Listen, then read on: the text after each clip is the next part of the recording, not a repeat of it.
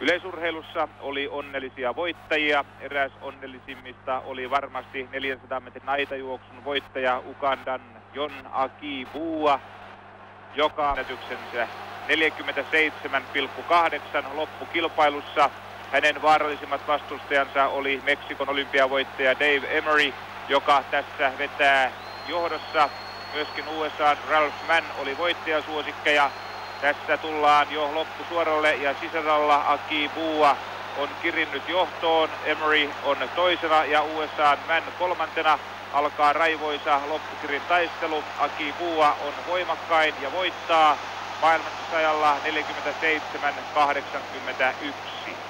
Entinen maailmanennätys oli Emeryn nimissä ja nimenomaan Meksikossa juostu 48,1.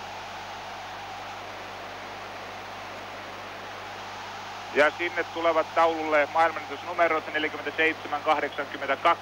Aki Buuan onnea, Män hopeaa, Emery pronssia.